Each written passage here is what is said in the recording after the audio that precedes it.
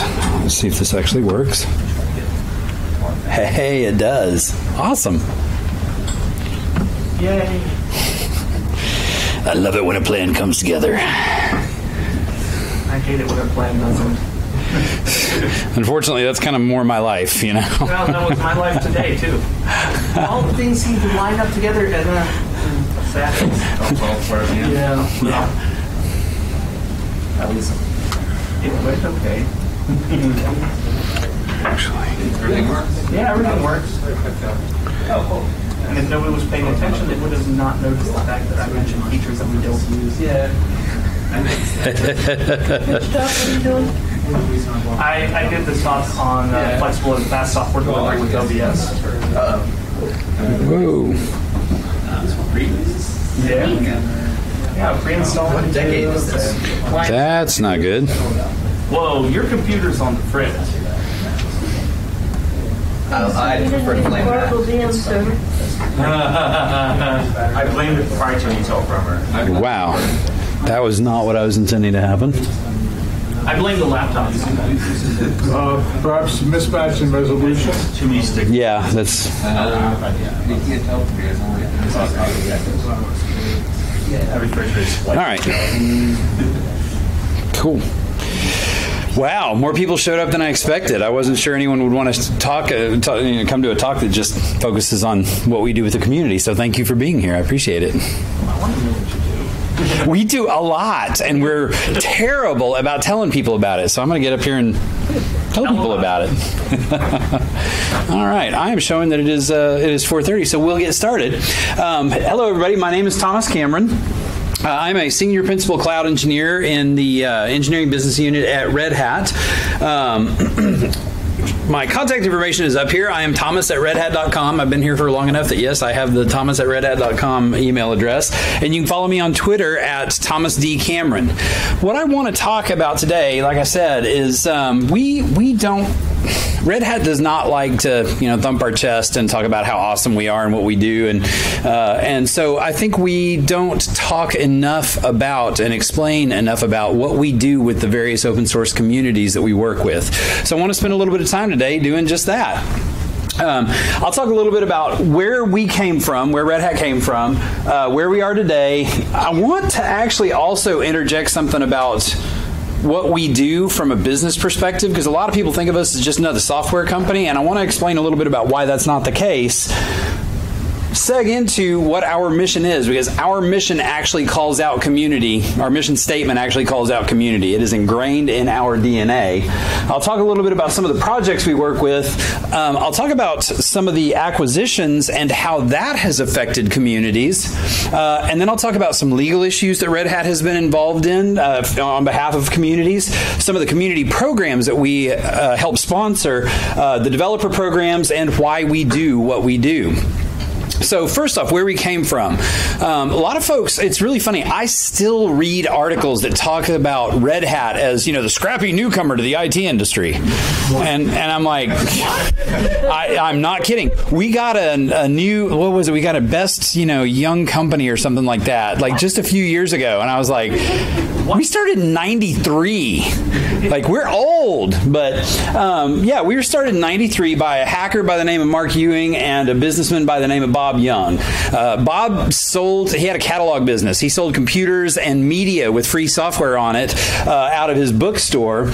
And Mark built a Linux distribution called Red Hat Linux. Bob sold so many copies of it that he approached Mark and said, "I want to buy your organization. I want to buy your company." And they adopted the name Red Hat Software and went forward as a going concern. Uh, and in '99, we did well enough that we were one of the most successful. I think at that point we were the seventh largest IPO uh, to date. So um, went from nothing to huge IPO in just a few years.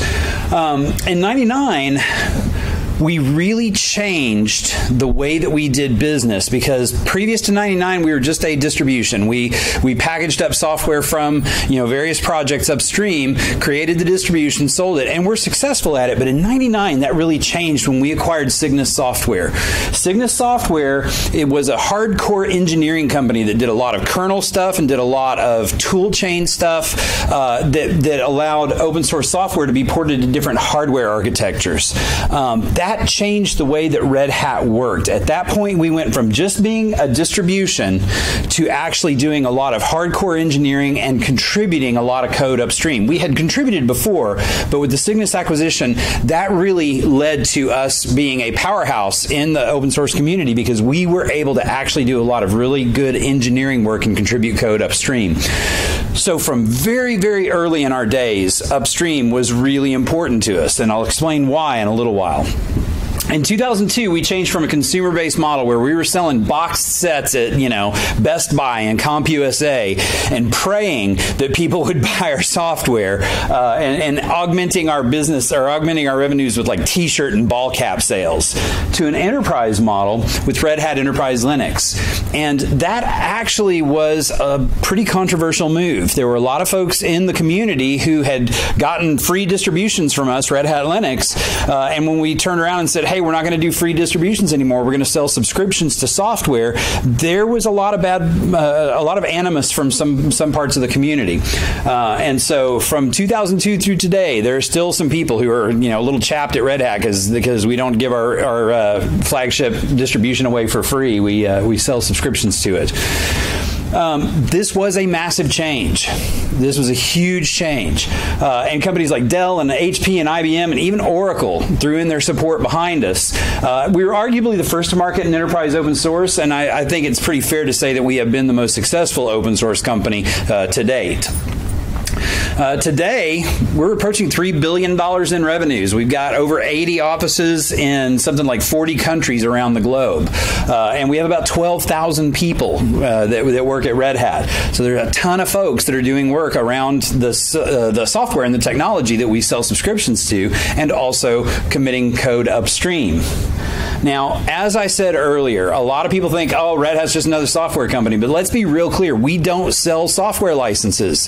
The license under which you use the software that we that we support and, and sell subscriptions to is an open source license. It's the GPL, one of the versions of GPL or LGPL or uh, Apache software license or MIT license or whatever. There are a ton of licenses that are uh, included in our technologies, but we don't sell software licenses.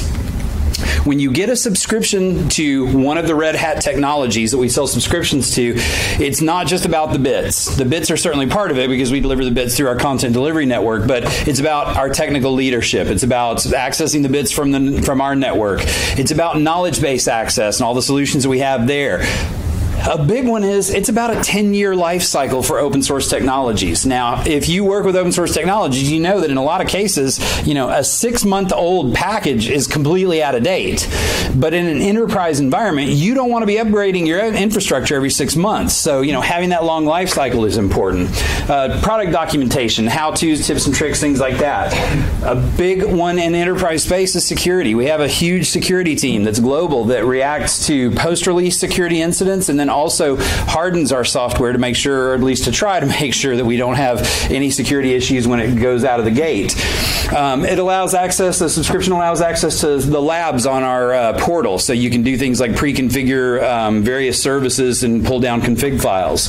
Um, it, it's access to the solution engine and support. Uh, solution engine is when you type in a problem, it'll actually use AI to go and search through our knowledge base to see if uh, there's something that matches it.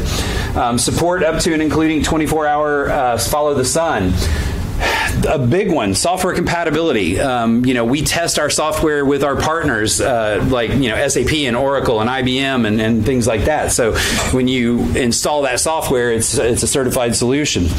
Um, it's access to education and certification. You know you, you've heard of folks who are red hat certified engineers for instance legal protection, which I'll talk more about in a little while. This is important to a lot of our uh, enterprise customers, and that partner ecosystem, that partner partner ecosystem of ISVs and IH, I'm sorry, independent software vendors and independent hardware vendors and VARs and, and consulting groups and things like that, and then certification on common and popular hardware platforms from you know Dell and HP and Lenovo and so on. So it's not that we're selling bits the bits are only a tiny part of what the subscription brings. So when you hear people talking about oh software, you know Red Hat's just another software company, company, it's really not just it's not that.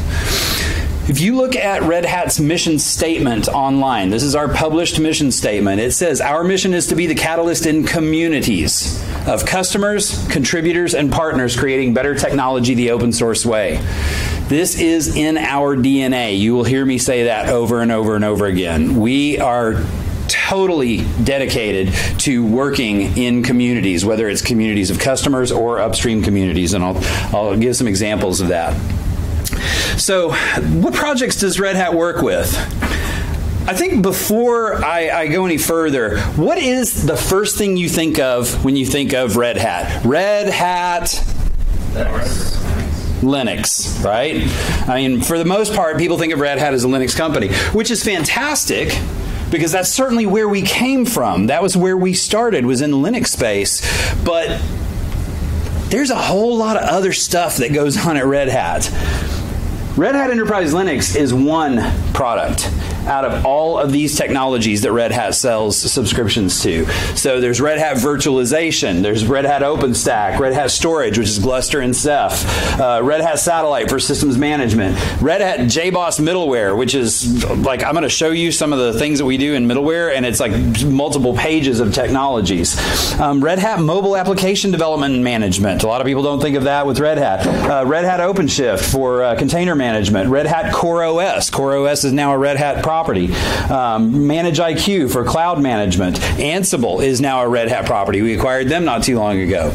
Um, and for every one of these products that we sell subscriptions to, there's an upstream project that we sponsor and maintain and contribute to. So, you know, RDO and oVirt.org and the Fedora project, CentOS project. CentOS is also a Red Hat technology now. Um, you know, the upstream Core OS, uh, OpenShift Origin, et cetera, et cetera, et cetera. Now, that's a whole lot of communities right there. But the argument could be made, well, you know, that's just upstream for your products, right? You know, that's not real community. Uh, I disagree because we do everything in those upstream communities. Nothing makes it into Red Hat Enterprise Linux, or almost nothing makes it into Red Hat Enterprise Linux. I won't say nothing because there's always going to be some weird corner case, but but generally nothing makes it into uh, upstream uh, into Red Hat Enterprise Linux that didn't come through the Fedora project. We put everything out in the community, freely distributable, downloadable, open source technologies. The same is true for oVirt.org. The same is true for OpenShift Origin. The same is true for ManageIQ, Gluster.org, Ceph, et cetera, et cetera, et cetera. Those are all communities, but then there are, I don't know, about a million other projects out there that we are aware of and try to keep an eye on uh, that we work with, like the Apache and, and OpenStack and things like that. So there's a ton of work that we do around communities upstream, but it goes a lot deeper than just what you see on the screen these are projects that we are involved in that are not productized. They may be part of a product, uh, but these are these are things that we are involved with. From a foundation perspective, we're with the cloud native. We're a part of the Cloud Native uh, Computing Foundation, the LibreOffice Foundation, Linux Foundation, OpenNFV, Python, blah blah blah blah. I mean, you can see that these are all foundations, free software foundations that we are members of uh, to some level or another.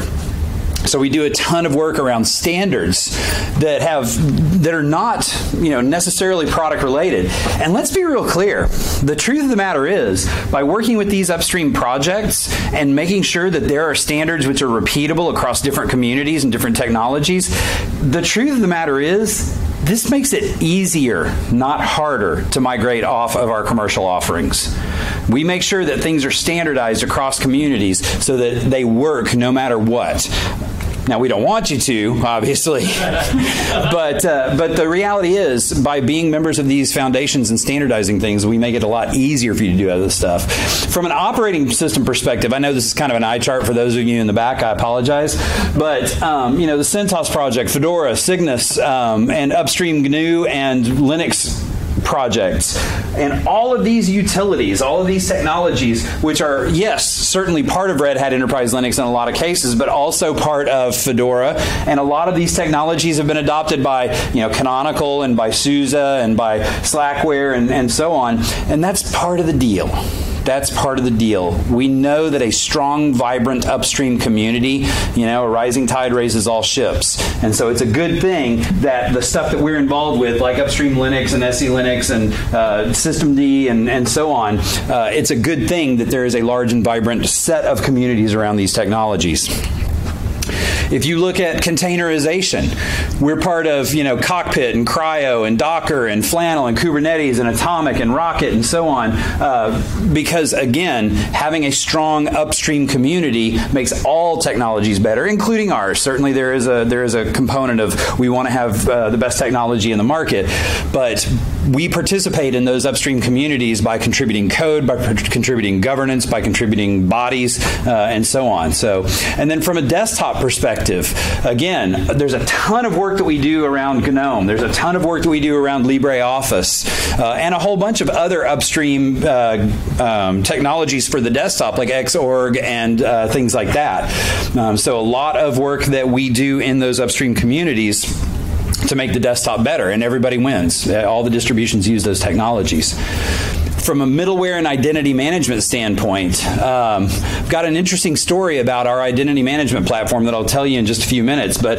if you look at what we do upstream with the Apache web server, for instance, and what we do with uh, the various jboss.org projects around application services and data virtualization and uh, memory in-memory caching of, of big applications and things like that, there are a ton of projects and communities in upstream that we contribute to uh, from an operations perspective, you know, again, upstream oVirt and OpenShift and OpenStack and, and things like this for cloud technologies. All of these are open source projects that we work in the upstream with and anybody can have access to. And from a storage perspective, we acquired Gluster for uh, NAS style storage, software defined storage using uh, the Linux operating system and then the storage layer on top of that. And then we also acquired Inktank. So Ceph is part of the Red Hat family as well for block storage. So a ton of upstream work being done there. And then some really cool stuff that we're doing like with the Condor project for things like high performance computing or high throughput computing uh, for computational clusters and things like that. Uh, we contributed a bunch bunch to upstream technologies like NFS and uh, you know GFS, uh, or I should say GFS2, since that's the current version. Uh, but there are a ton of projects that we work on there that again get adopted by a bunch of different um, distributions. And then from a developer tool standpoint, real quick, how many folks are how many folks think of themselves as more developers than operations folks? Okay. How many folks are more operations than developers? Okay, good. We got a really good mix. Okay. So, how many folks have used Eclipse? Yeah, okay. We do a ton of, of upstream development in the Eclipse uh, with the Eclipse Foundation uh, and, and a bunch of other technologies on here. There are technologies, there are developer tools on here for, you know, sort of typical um, middleware or application development all the way down to kernel level and C programming. So a ton of stuff there as well. So, did y'all know that Red Hat was contributor uh, contributed to all of those upstream projects? A couple of you did. Well, you work here. I don't. you don't. You better know. so Red Hat has acquired a bunch of companies. Just I've been I've been at Red Hat coming up on 13 years, and just in my tenure here, we've acquired a bunch of companies, and it's been really fascinating to see what happens when we do acquire a company, what we do around making that technology open source and building communities around it. Um, since we were founded, we've acquired over 30 companies. Some of them have been very successful, and frankly, some of them have not. We've made acquisitions that turned out didn't work out real well, and you know that that's just kind of the nature nature of doing business.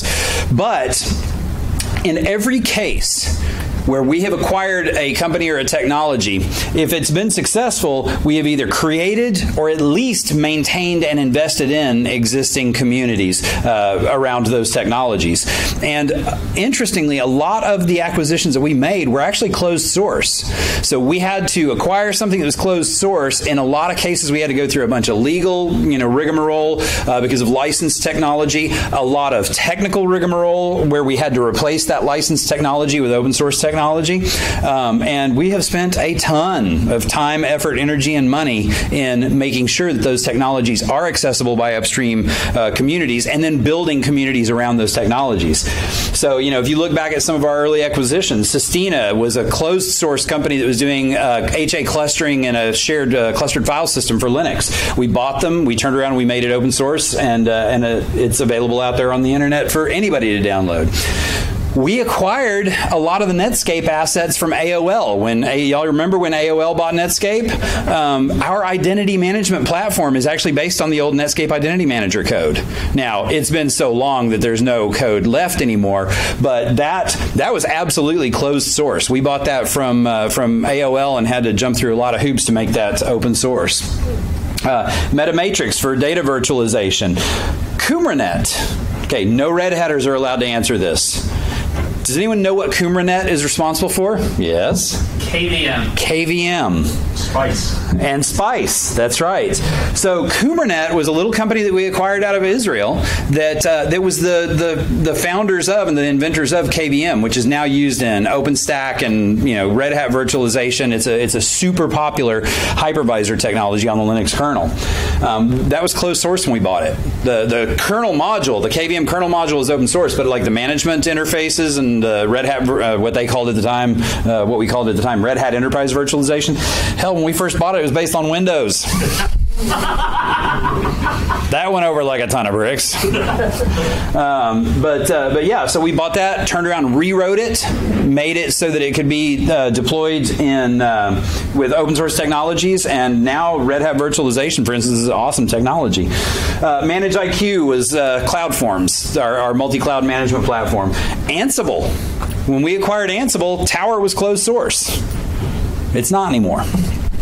So we've done a lot to make sure that, uh, that that we have made those technologies accessible by anybody who wants.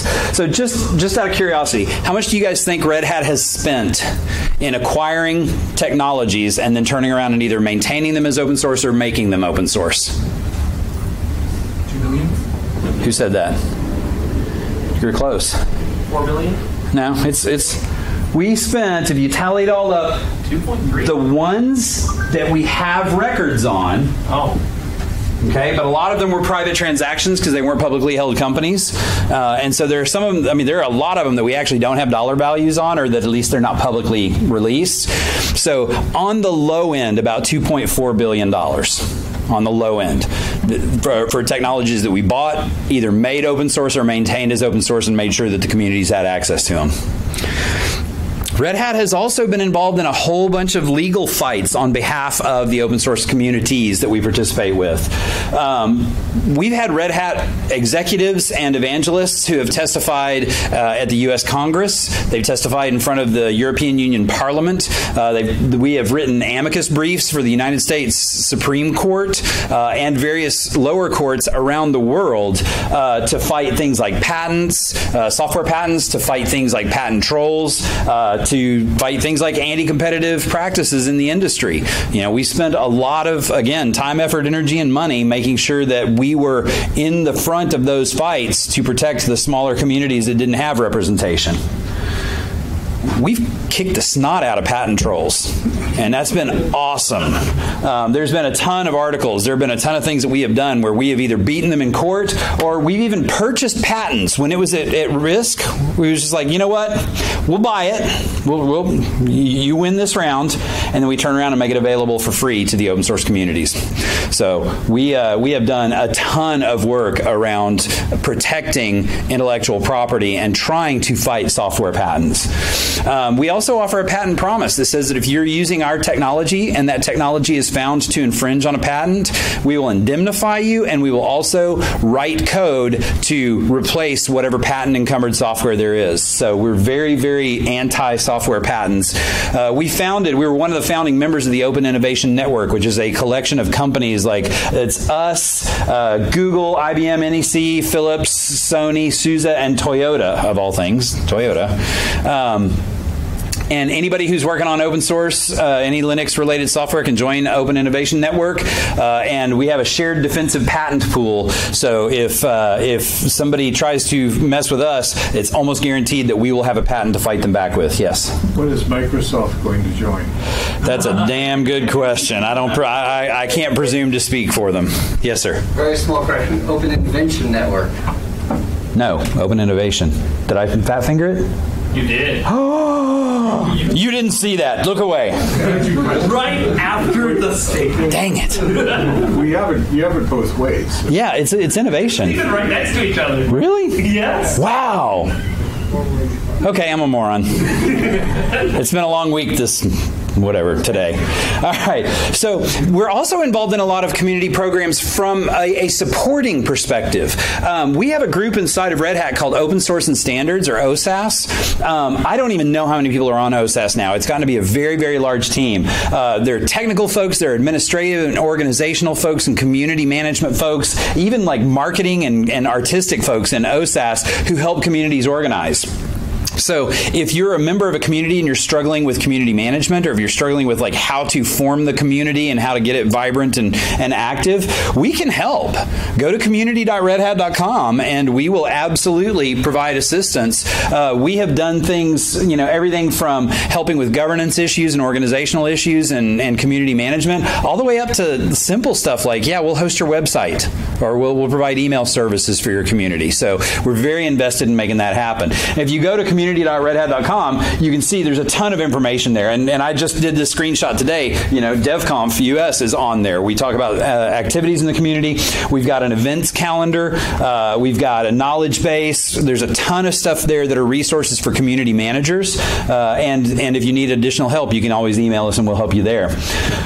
So, Red Hat also has some developer programs that are that are absolutely focused on uh, thank you on uh, uh, community members. So Red Hat software is available at developers.redhat.com, and this was actually something that I and a bunch of other people, but but I was probably one of the most obnoxious about it, um, and I don't mind being obnoxious internally. It happens all the time. Um, but we fought really hard to have a developer program where folks could download Red Hat software and not do the 30 day eval or not do the $99 developer subscription that we had for years and years and years.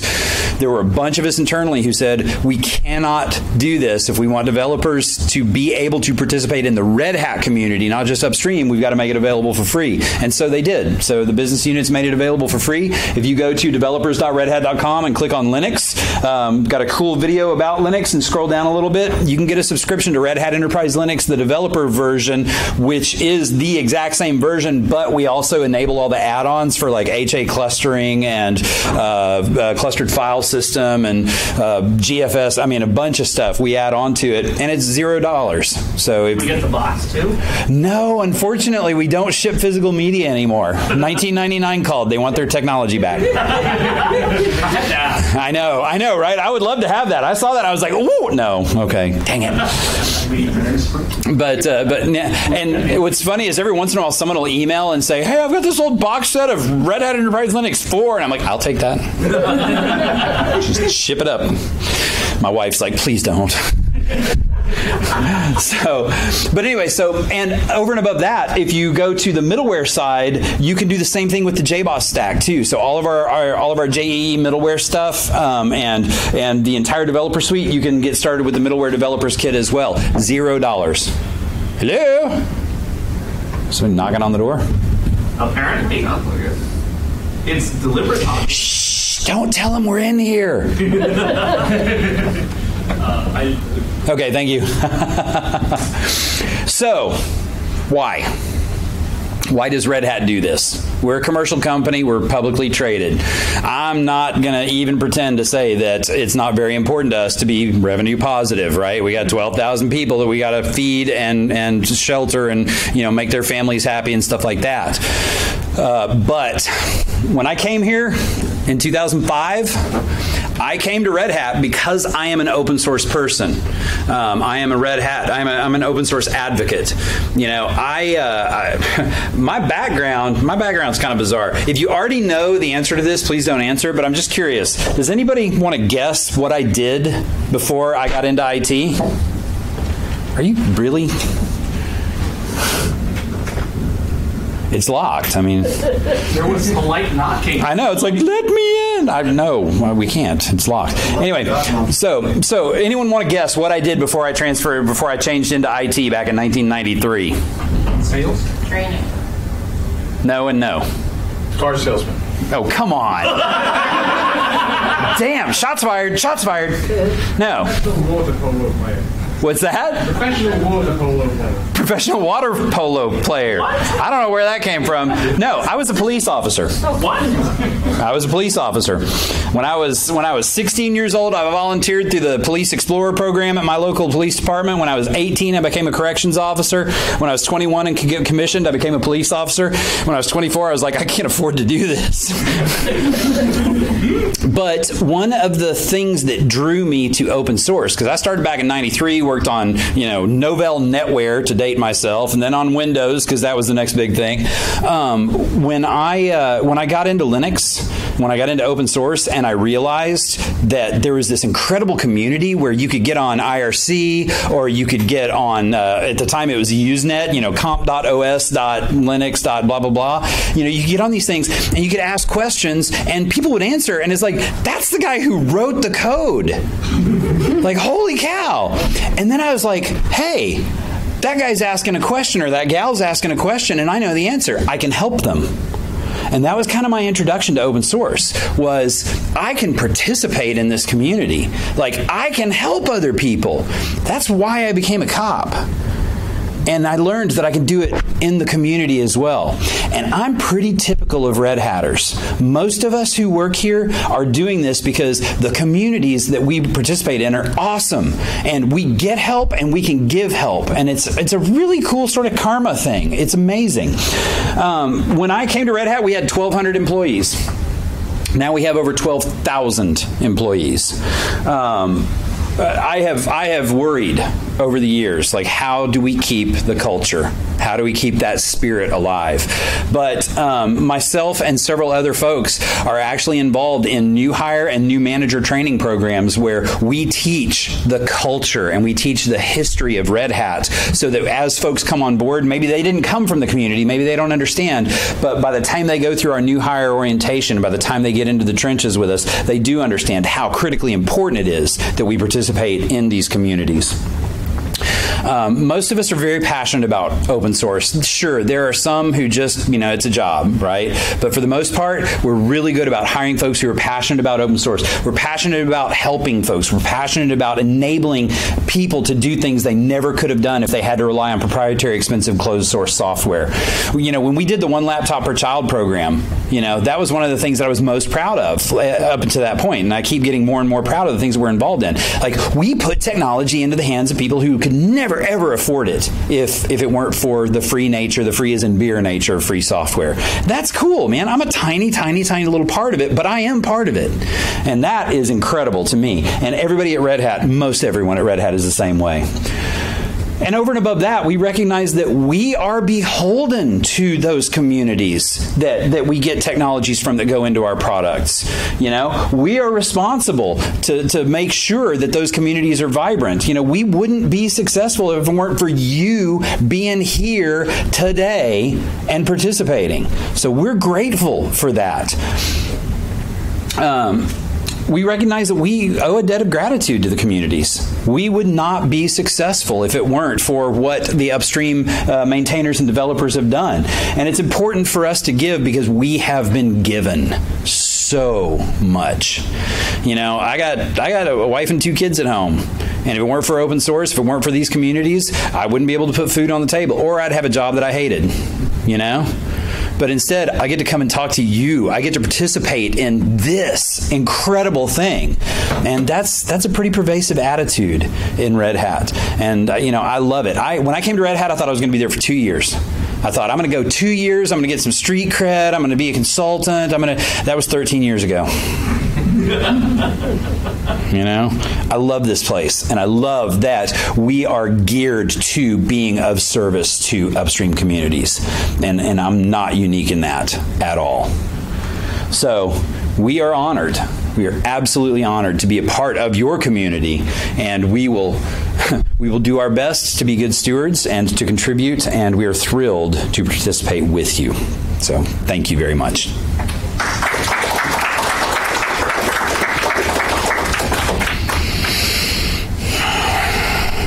If there's any questions, feel free to ask. Yes.